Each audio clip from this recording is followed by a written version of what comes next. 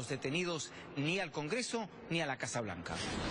El informe fue criticado fuertemente por quienes, como esta congresista republicana, piensan que la información obtenida sirvió para evitar otros ataques terroristas. Yo creo que nos ha dado mucha información.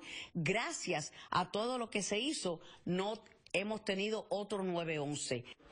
El senador republicano Marco Rubio opina que el informe es injusto e irresponsable. Que no han advertido que si este reporte es hecho, es hecho público,